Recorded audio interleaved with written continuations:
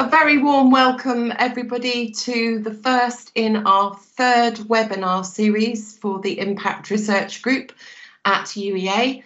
My name is Carrie Jackson, and I'm one of the directors of the Impact Research Group and an associate professor for practice transformation. This third webinar series runs from April through to July and uh, I'm delighted today to be able to welcome my colleagues Patrick and Adam from the Cambridgeshire and Peterborough Adopting Innovation Hub, um, who are going to be talking to you about the work of the hub and the project. So the Cambridgeshire and Peterborough Adopting Innovation Hub is one of four hubs funded nationally by the Health Foundation the hubs are going to be working with system partners to promote the adaptation and adoption of proven innovation with a focus on addressing health inequalities. The session today is going to introduce the hub and its goals, as well as talking about the role of the RAND Europe uh, group as the evaluation partner and UEA's impact research group. So Patrick joined the Adopting Innovation Hub as hub lead in February of uh, this year from a previous role in the Cambridgeshire and Peterborough Health Innovation Ecosystem, where he worked across Cambridge and Peterborough Foundation Trust and Cambridge University Health Partners as business engagements and clinical innovation manager. Uh, Patrick has previous experience of academic and pharmaceutical research as well as healthcare consulting and holds a master's degree and a PhD in chemistry. And I'm delighted also to welcome Adam Chiesa, who is the Cambridgeshire and Peterborough Adopting Innovation Hub Coordinator. So in just a tick, I'm going to hand directly over to Patrick. We would welcome, please, you all keeping your cameras off and your microphones, please, on mute for the duration of this session. The session is being recorded and will appear on our YouTube channel afterwards, and we will send you a link to the presentation. We'll also be asking you to post questions in the chat box, and Adam and Patrick are going to share links to some key documents that we would like uh, to share with you. So without further ado, I'm going to go off camera for a little bit and hand over to Patrick. Thank you. Thanks a lot, Carrie. Hopefully everyone can see my screen and can hear me okay. Yes. Great, fantastic. Thanks, Emily. Thanks a lot for, for joining today. It's really great to see such a fantastic turnout for this webinar series to introduce the Cambridgeshire and Peterborough Adopting Innovation Hub. Like Carrie mentioned, I'm Patrick and I'm the hub lead for the Cambridgeshire and Peterborough Adopting Innovation Hub. I'm really looking forward to telling you a bit more about this exciting new initiative that we have across the county. Over the course of this presentation, I'll talk you through the background to the programme. We'll then go on to discuss the evaluation approach for our hub as well as for the broader programme. Um, and this section will feature a short introductory video from Tom Ling, who's head of evaluation at RAND Europe, the national evaluators for the Adopting Innovation Programme. We'll then go on to hear from Carrie from the Impact Research Group about their contribution and their work in evaluating our hub.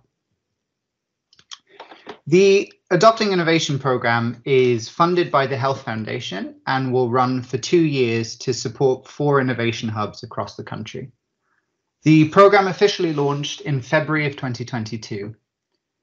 Any discussion of innovation really raises the question of how we define innovation. And for the sake of this program, the Health Foundation considers innovation to refer to new approaches, practices, treatments, technologies, and services that aim to improve healthcare. We're really excited by this definition because it allows us to look beyond purely digital and technological solutions to also include changes to treatment pathways and the way that we deliver clinical services. The Adopting Innovation Programme is informed by a report published by the Health Foundation in 2018 titled The Spread Challenge, and Adam will be sharing a link to this document in the chat. This white paper concludes that the adoption of proven innovation in the healthcare system presents a significant bottleneck, and critically, that innovations have to be adapted to their local context to ensure maximum impact. The Adopting Innovation Programme accordingly looks to address this challenge, and all four hubs will focus on supporting their local health and care systems in implementing proven interventions. Adoption has also been identified as a local challenge in Cambridgeshire and Peterborough through stakeholder engagement work and innovation case studies that we conducted with Cambridge University Health Partners, our local academic health science centre. Beyond the core focus of adopting innovation, the four hubs have the freedom to set priorities in line with their local needs. And I'll highlight these on a later slide, but for now I'll talk you through the priorities of the Cambridgeshire and Peterborough hub. Given the stark health inequalities across Cambridge and Peterborough, our hub will focus on innovations that can address these core inequalities and where possible raise the standard of care for all. We also recognise the importance of co-producing transformation work with our citizens and with clinicians, and we're embedding co-production across all aspects of the Hub's activity.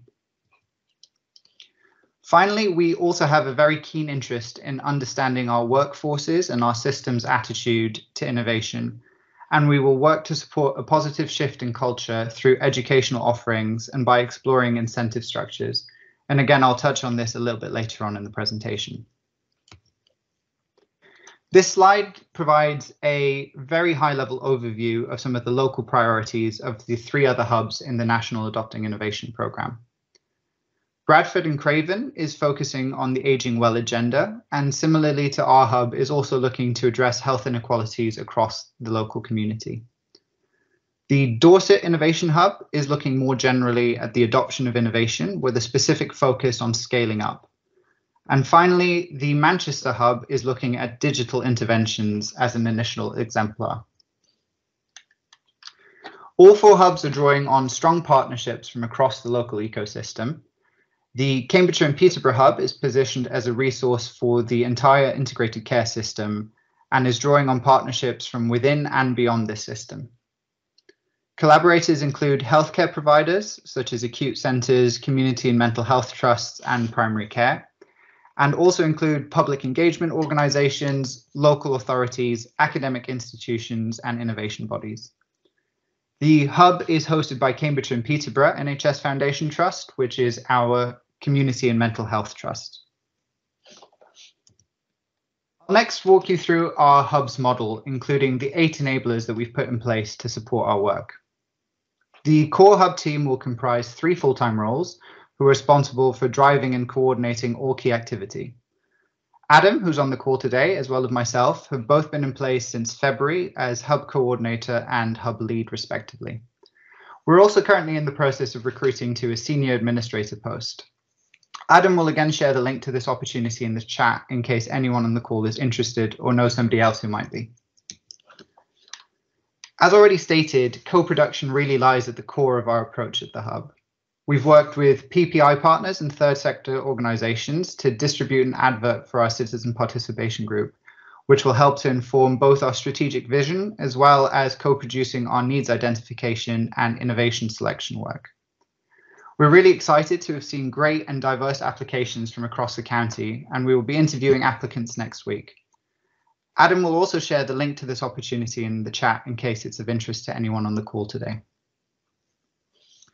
We've also commissioned a digital community engagement platform to interact more broadly with the public and healthcare staff across the region. The page is currently being developed and launches on course for the end of April. We're excited to be able to share this page with you soon, but we're also really conscious of the chance of digitally excluding key groups. So as a result, all of our online engagement activity will be supplemented with alternative engagement approaches to ensure that we are inclusive um, to all groups, regardless of their access and ability to use digital tools. We recognize that a dynamic communication strategy will be really essential in driving engagement across groups and in actively informing our partner organizations of ongoing opportunities. To this end, we've established social media profiles and a homepage, and links to partners' communication teams are currently being developed to help actively engage with our stakeholders. We're also exploring providers of easy read materials to ensure that our outreach activities are as inclusive as possible. Our hub has a core, small core team, and we really need to draw on our networks and our partner organizations to deliver our goals of supporting the adoption of innovation to address health inequalities.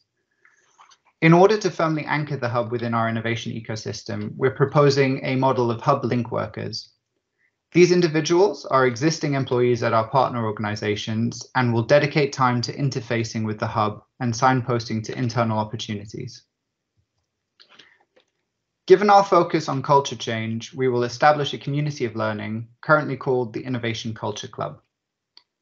We'll deliver educational content such as sandpits and workshops to introduce and advocate for innovation adoption across our citizens and our workforce, drawing on the expertise of our networks. And I'll go into some of the types of events that we're hoping to run at the end of this presentation. We recognize that buy-in from leadership across the healthcare system is critical to the success and to the sustainability of our hub. To this end, the Hub is creating a leadership concordat, which will outline the expected support and commitment from partners. We also recognize the need to dovetail with existing system work around health inequalities, as well as clinical delivery and innovation. We've accordingly engaged actively with relevant ICS boards and working groups over the past two months to develop an approach that meets the system's needs. Cambridgeshire and Peterborough is home to a large number of experienced adopters from across the healthcare and private sector workforces and has a really vibrant and well developed innovation ecosystem. We've established an adopters network to draw on this experience and to support the hub in addressing systemic challenges to innovation. The core group is now in place and the inaugural meeting took place a few weeks ago.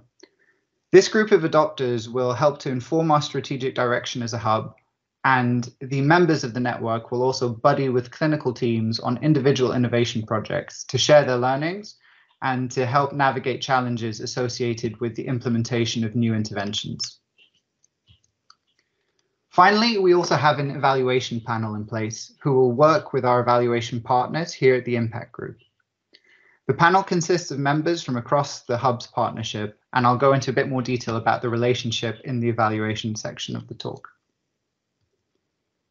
I think it's always nice to put some faces to names, and this slide shows the makeup of our, our different hub teams across both leadership and the core team. The leadership team consists of Ewan Cameron, who's the Executive Director of Improvement and Transformation at Cambridge University Hospitals, Helen Oliver, who's Deputy Chief Executive at Eastern Academic Health Science Network, and Kathy Walsh, who's the Deputy Medical Director at our host organisation, CPFT. I've already introduced Adam and my own roles within the Core Hub team. And as mentioned, we are currently recruiting to a senior administrator for the Hub as well. Our evaluation panel that I introduced on the last slide is currently being chaired by Professor Peter Jones, who's director at the East of England Applied Research Collaboration. And another really critical role that we will be recruiting to in future is the citizen leader position. This citizen role will represent our citizen participation group at leadership meetings and will be co-selected by the group itself. Our goals for the upcoming months are threefold. Firstly, we're conducting extensive needs identification work to understand the clinical areas and the health inequalities that the hub will target in line with system priorities. Current frontrunners include cardiovascular disease and obesity, as well as serious mental illness. We will also look to identify those innovations that are proven to target these challenges and that are suitable for spread. Our second aim is to aid a positive culture shift across our workforce, driven by the delivery of interactive sessions through the Innovation Culture Club. Key areas that we've been asked to focus on by our partners include providing a practical guide to evaluation for clinical teams and highlighting the importance of health economics when considering innovation. We will also highlight case studies drawing on the experiences of our adopters network. Finally, our third focal point will be to run workshops across the partnership to identify and share successful local innovations that have a low barrier to entry, looking to capitalize on the great work that's already ongoing within the system and the broader network of adopting innovation hubs. Coming back to that initial needs identification process, this slide highlights the four steps that we will take in trying to identify our needs. Firstly, we'll look to dovetail with existing system priorities, drawing on resources such as the Core 20 plus 5 model for health inequality developed by NHS England. Once key priority themes have been agreed, we'll co-produce specific challenge statements within these themes with citizens and clinicians. We'll then work with our academic health science network to identify relevant innovations that are proven, well evidenced, and suitable for spread, and we'll co-produce our final selection. Finally, we'll um, take this selection back to our system and provider leadership to ensure that we can secure support and sign off for the innovations that we've selected and identified. This final section outlines the evaluation landscape of our hub and the Adopting Innovation program. Locally, the three relevant stakeholders are the hub itself, our evaluation partners here at the UEA Impact Group, as well as our evaluation panel. The panel will support clinical teams in evaluating individual implementation projects and will agree the evaluation brief, key performance indicators and metrics for the hub level evaluation with impact.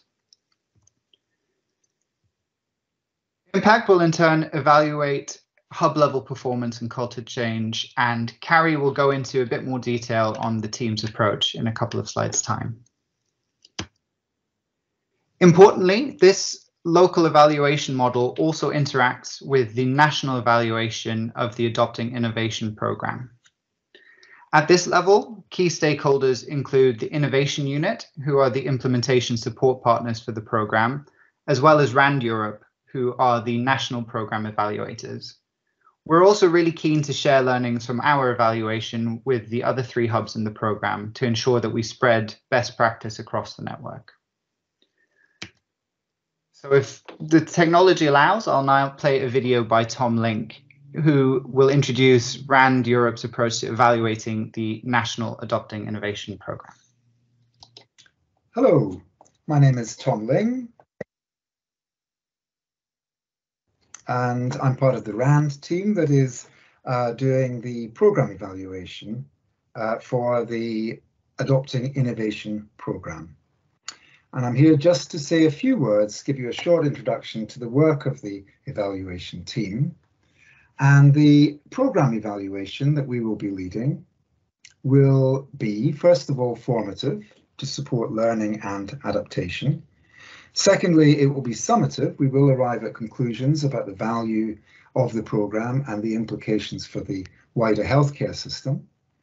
We will be collaborative in that we'll work very closely with the local evaluations, with the hubs, with the innovation unit, and with the Health Foundation. Fourthly, we will be informed by adopting a theory of change approach and an understanding of systems. And fifthly, we plan to be solution oriented. We really don't want to just admire the problem, but to be part of a collective effort with you uh, in order to address and solve the problems. There will be three levels to the programme, and this will be reflected in our evaluation. The first is at the level of the innovation or the individual project. And there the questions are, what changed as a result of the innovation? for whom, with what benefits, and as a result of, uh, and, and how did that actually take place? Was that the hubs that managed to support that? How did the hubs help prioritize and manage change in the local area? Secondly, we want to look at the hubs themselves and what makes for a successful hub and what resources and capacities uh, you need in order to deliver things that would not have happened in the absence of the hub and we want to understand the consequences that that will have for uh, the for innovation systems at the local level. Thirdly, we want to look at the program level and the role of the program in supporting sustainable change and capturing uh, lessons, but also to understand if and how the program has mobilized change beyond the individual role of the hubs into the wider health and care systems in England and Wales, and indeed into Scotland and Northern Ireland. The different teams that will be involved The local evaluations will be leading very much around the local innovations themselves and the projects and looking at the effect and consequences of those. And they will also be working with us the program level to look at the role of the hubs in delivering that change. So we will collaborate closely around that.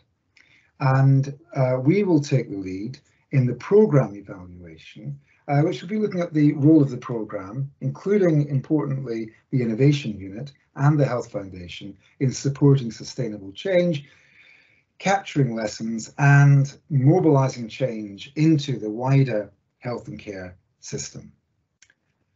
We are really looking forward to working with you in uh, the coming years, months and years, and we see this as a joint project of collective and shared learning, each with our own part to play in that. And uh, hopefully, uh, over time, we can capture a really deep understanding of how innovation takes place at local levels, how that can be supported, how adaptation of known innovations can succeed and we look forward to working with you. Great. Thanks a lot to Tom for providing that video on RAND's approach to the national evaluation of the Adopting Innovation Programme. So with that, I think I'll go off camera and hand over to Carrie, who will walk you through Hello. some of the outputs from and the approaches that Impact have been working on. Thanks, Carrie. Thanks very much, Patrick. Uh, and there's an interesting question from James Butcher in the chat, which we'll come back to a little bit later. Thanks, James. So uh, the Impact Research Group at UEA are focused, first of all, on helping to think about how we co-create an implementation and impact framework with citizens and stakeholders in Cambridgeshire and Peterborough for evaluating innovation, adoption and spread um, and that we believe will guide both future strategy, culture, and evaluation of impact at different levels of the system. So, when I'm talking about system levels, I'm talking about micro level, which is with teams, meso level with um, services or organisations, and then at macro level, the whole system. Um, and we think that's important because it positions citizens and what matters to them at the heart of health and social care innovation in partnership with stakeholders, which Patrick has already talked about. And we think it's really important to do this to guide the evaluation focus from the perspective of both the internal process evaluation team and the external evaluation of the cultural factors that influence uptake and spread of adoption across the system. Next slide, please. Next slide, please, Patrick.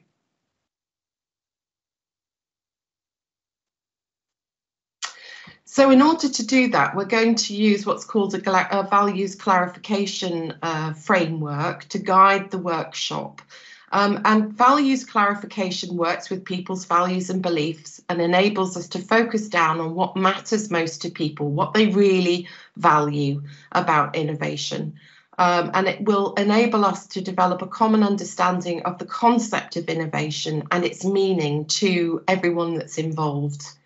It allows us to get to the ultimate purpose of innovation as a collective and to identify how that purpose is going to be achieved across the system, what the enablers are, so identifying what works and rather than just focusing on the challenges and the barriers. So we're coming at this from a, a positive, appreciative approach.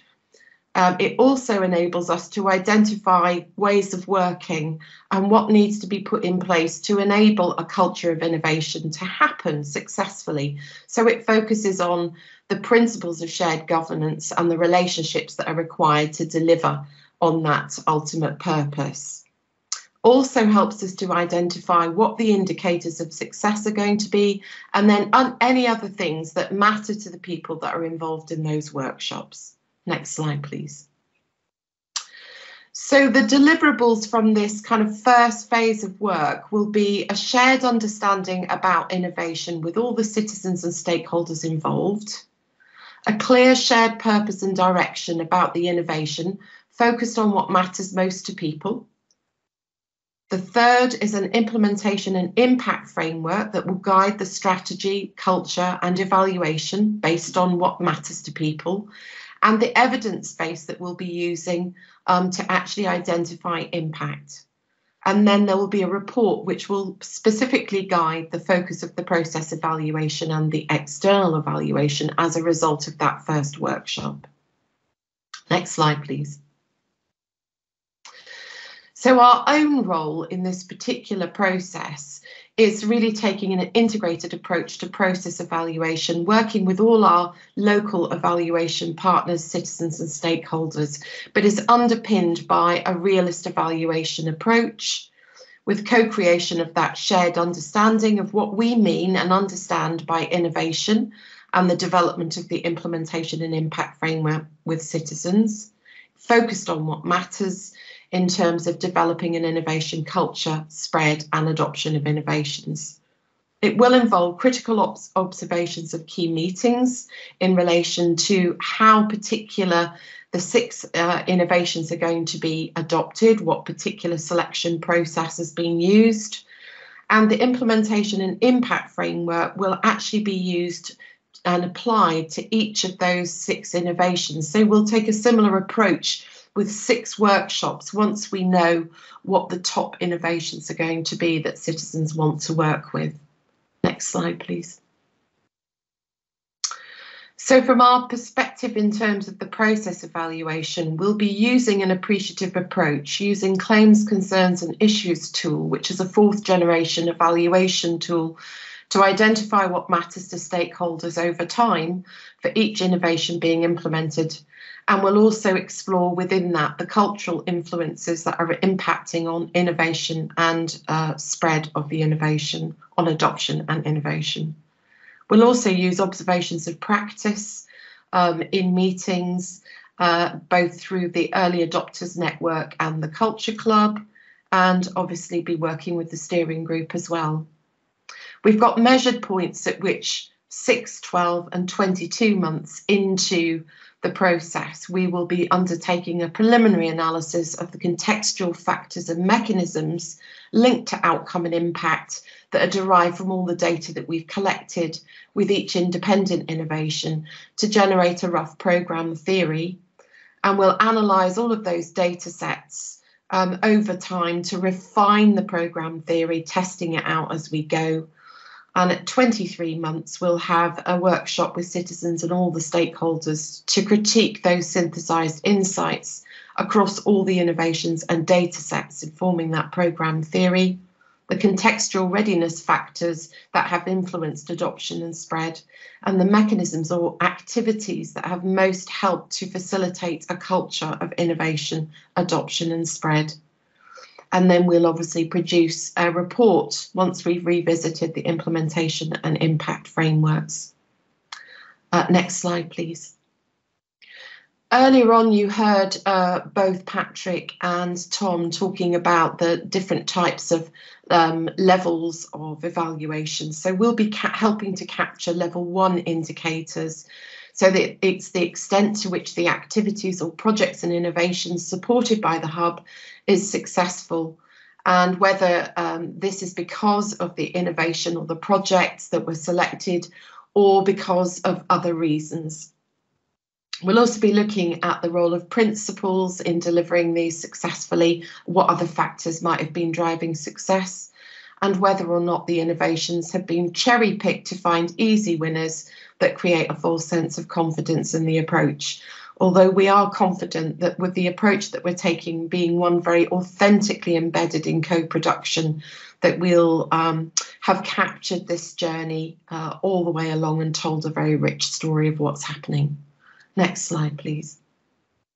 So I'm going back to you, Patrick, and uh, I'll invite the audience to uh, ask any questions that they would like in the chat.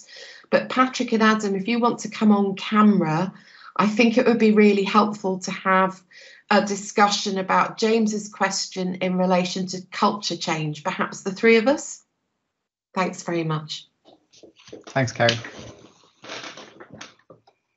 Um, so I think this is a really interesting question, and actually it came up last week, didn't it, when we were um, in the launch event, uh, and we've had discussions ourselves around how we measure culture change.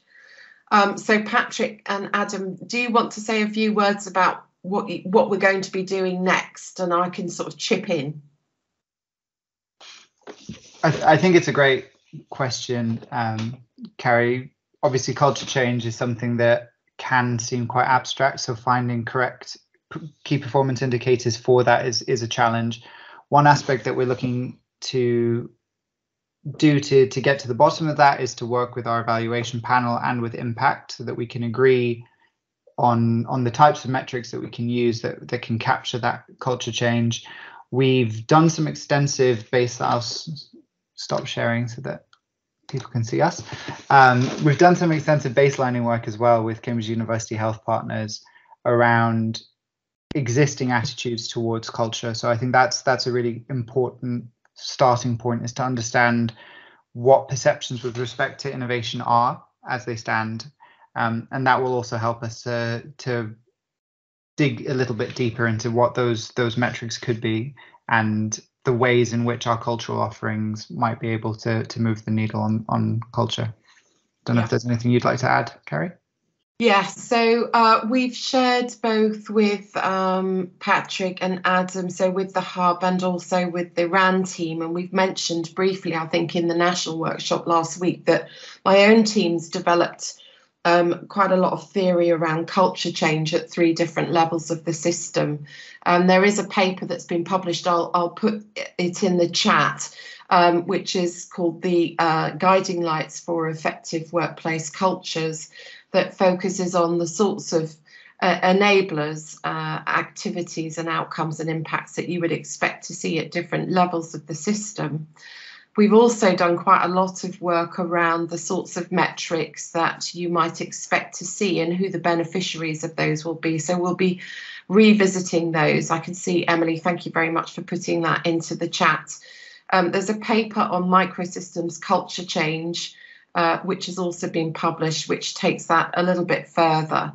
Um, and so we're going to draw on that. But I think also the Dorset team um, have been working with the PARIHS framework and with complexity theory and normalization theory to actually help them to map uh, both the influence of context and leadership uh, in terms of adoption and spread.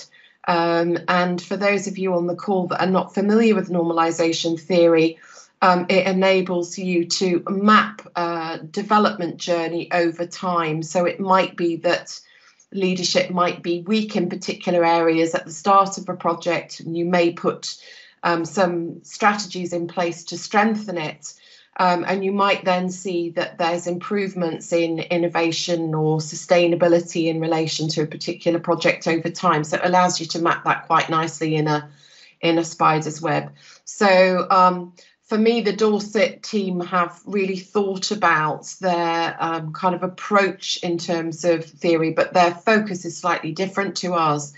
Um, and I know that there's a great interest in our colleagues in um, Bradford and Craven in looking at culture change. So I'm hoping that there'll be opportunities for us to share some of that experience together um, and look to see what might work um, in terms of metrics.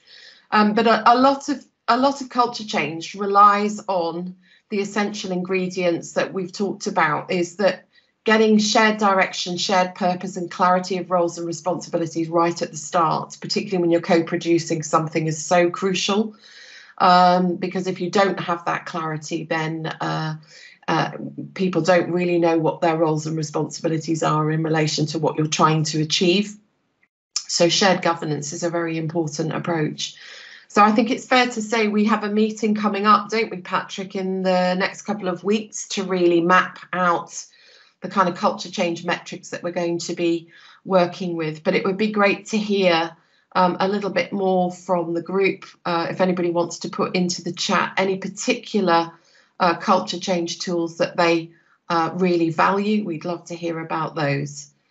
Um, so I'll just give um, our audience a little bit of time to reflect on that. But I'm, I'm also aware in the meantime that we've had a, a question from uh, Jean Craig um, who's told us that she's working with people applying for research funding, including fellowship applicants, many of whom are implementation uh, interested in implementation research. Um, and so she's interested in seeing whether it would be appropriate to refer them to the Innovation Hub to discuss potential opportunities for support and supervision, um, and perhaps gaining some experience on co-production and training. Patrick and Adam in short, absolutely, we're we're very very keen to hear from anyone who's looking to collaborate with the hub, um, and anyone who can who can bring their own expertise with respect to co-production and training that we can learn from that approach. We're we're very interested in sharing best practice and also learning from best practice across our region and partners. So very very happy to have those conversations and see where potential synergies and overlaps may be Adam, um, can you just drop the Innovation Hub email address in the chat? And any inquiries in terms of, of working together and collaborations, if you just email the the address that Adam will share, then we'll definitely get back to you on that. Absolutely. And I guess on the co-production note, we were just talking before we came on the call that there are two other co-production initiatives um, that UEA colleagues are involved in. So the first is the Citizens Academy, which is launching on the 3rd of May at the Forum in Norwich and is open to the public to come along to.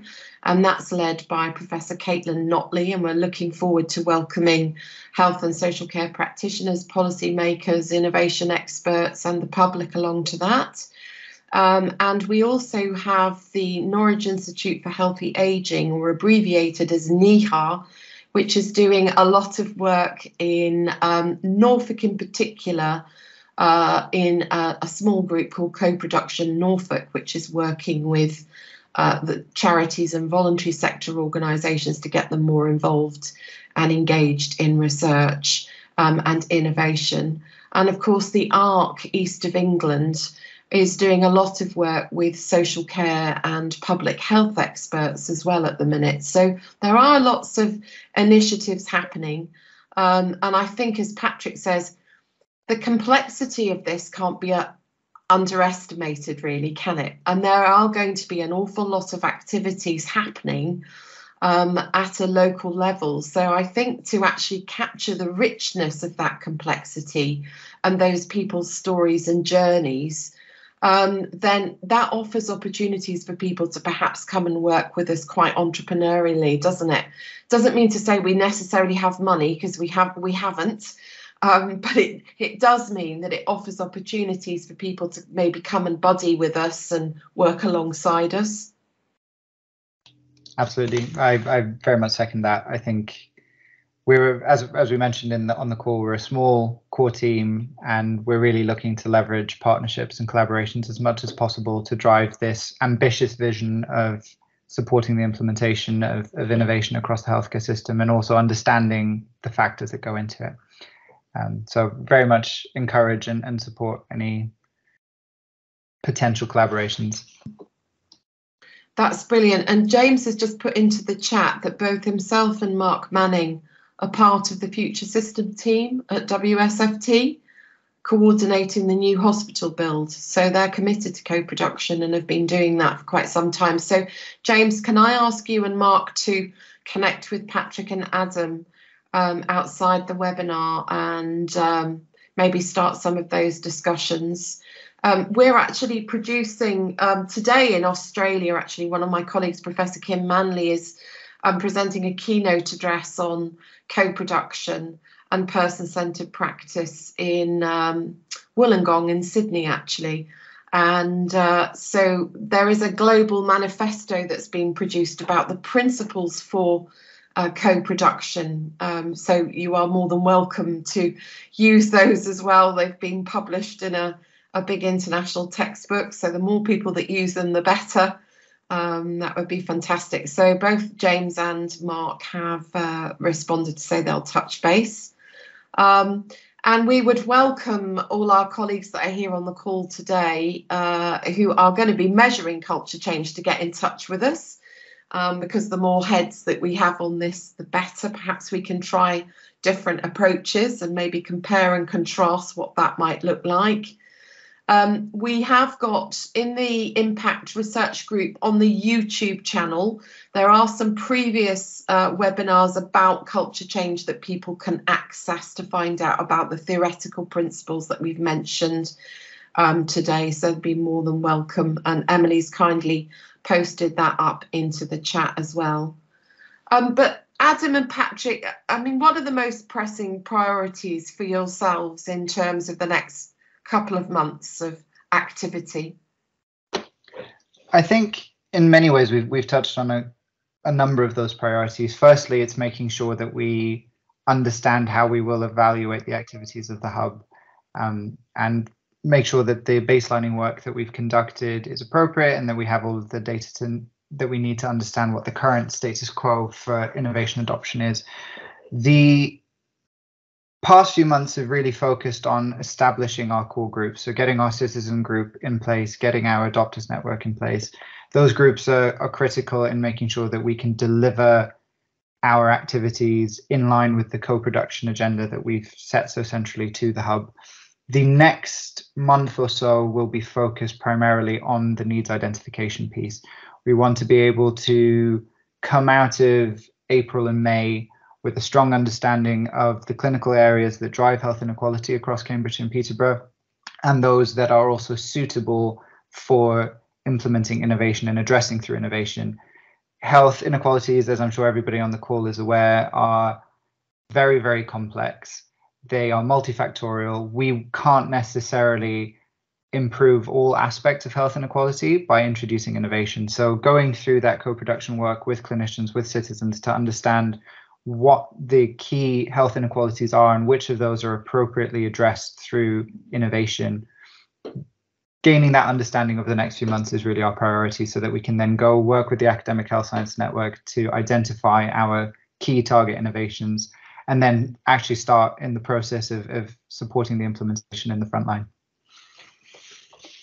Thank you very much, Patrick. We've had a really good question from uh, Jonathan Clemo, who was asking about the launch event. So we've been referring um, in our presentation to it was the launch event for the four innovation uh, hubs getting together, wasn't it, with the innovation support unit. Um, but I wonder if we could perhaps just reassure people about what the opportunities might be to uh, network with the hub going forwards. I know you had that great slide at the start about the range of different activities that you're going to be involved in and touch points for people to connect. Um, but you might just want to say a few words about that. Absolutely. Um, so, Jonathan, as Carrie mentioned, the launch event was between the four hubs within the Adopting Innovation Program, took place last week. I believe that recordings from that session will be made more, more widely available through the Health Foundation once those have been edited. And I'm sure we can communicate that through this forum as well when that's up and running. In terms of touch points that are out there, for those people who are interested in joining the citizen participation group, that is an ongoing open call for members. So if that's something that's of interest, um, please do consider that application as well as the Adopters Network. If you're somebody with lived experience of supporting implementation of innovation, we'd, we'd love to hear from you and we meet on a, on a monthly basis within that forum. Um, we will be, through the Culture Club, conducting a number of different webinars and workshops. So for example, as we mentioned, um, one of our provider partner organizations has asked for a masterclass on practical guidance for evaluating individual programs and that's something that we'll speak with our partners and impact about how we might deliver those types of workshops. We will be communicating those through our twitter account and also through our website as those events launch. And if there are any types of webinars that you would be keen to be part of if there's anything that you think that we could address in terms of culture and you have ideas we're very very open to suggestions. So again if you just send an email to the address that's been posted in the chat, um, we can have a conversation about the types of sandpits and workshops that might be interesting to people. That's great, Patrick. And you've just reminded me we have got a hashtag, haven't we, to drop into um, the chat, Adam. Um, so that that would be useful for people to be able to follow because that's going to be the quickest way to find out about events, isn't it? Um, and then Absolutely at UEA, we'll try, you know, once we know that these things are happening, we'll also put those out through various social media channels as well and connect everything in together. So we're trying to get the widest reach possible and also through the innovation support unit um, uh, because they're very helpful, aren't they, in terms Absolutely. of disseminating. Yeah. I think the, the important takeaway is the launch of this program was in February. We're still a very early stage of the program and as a result our thinking and our approaches are very much in development. So we're we're very keen to hear from people with experience on the call who might have suggestions in terms of best practice. Um, we're always looking for for methods to collaborate across the region. So open to open to communication and to conversations with all of you to make sure that we're delivering the, the highest quality support that we can that's brilliant. Thank you. And Adam's dropped the Twitter handle uh, into the chat. Uh, Emily's put in your uh, email address just in case it got lost in the chat room. Um, and uh, we will obviously edit the film from the webinar today. And then ordinarily, what happens is that goes up onto the Impact Research Group YouTube channel very quickly. Um, and Emily will be in touch with everybody that's on the uh, mailing list that's joined us today to give you the link directly to that so that you can uh, join it um, and uh, and watch again and perhaps connect to some of the other um, films that are up there. Um, we've had some lovely comments, lovely, nice comment from Peter Jones. Thank you, Peter. Great webinar and introduction to the hub. Thank you uh, and looking forward to sharing the recording. That's great. So please do share this recording, folks, once you get it uh, with people in your networks. I'm just double checking that we have addressed all of the uh, questions that we've been asked in the chat. I think we have, and we very helpfully put all of the links in to the chat box um, that link you into broader either publications uh, and Kit Codling has said good luck. Thank you very much, Kit. That's very kind of you. Um, uh, and Jonathan, thank you. You've made a comment that the Citizens Academy doesn't have a, a web page yet. I've seen it in draft. It looks very good. Um, but as soon as it's uh, about to be launched, I'm sure Emily will send that over to you. So I think without further ado, um, Adam, is there anything that you would like to conclude with? Anything you'd like to say? Uh, no, just just obviously a massive thanks for everyone attending today, and just to echo what Patrick is, was saying earlier on about um, the fact that the program and the hub itself is very much in its infancy. So you know we'd absolutely want to reach out to as many people as we can to get that um, principle of shared learning um, across all of our partners. So if anyone has got uh, information, expertise, and experience, then yeah, absolutely get in touch. Send us an email. That's lovely, Adam. Thank you. And it's a, a, real privilege for me to be part of this journey with you all because um, you're just such genuine, authentic people and you live your values in practice so that there is an authentic contribution to co-production, which is really fantastic. And now, of course, I'm going to do a shameless plug to the next webinar that the Impact Research Group are going to be leading, which we think is the 24th of May. We will confirm that next week. And that's going to be focused on co-production. Um, on uh, co-production and a focus on what matters most to people. How do you do it authentically? So we are going to be looking at different methodologies and tools for achieving that. We will have Caitlin Notley here from the Citizens Academy. We'll also look at some work that we're doing around Global Challenge for Health at UEA and we'll look at research into co-production as well. So hopefully you can all come along to that and we look forward to um, seeing you all then. So for now, a massive thank you to Patrick and to Adam for taking the time this morning, to Emily as ever for doing all the fantastic background chat and links, um, and to all our colleagues on the call for taking your time to come along and join us. Thank you so much. You're all um, free to go.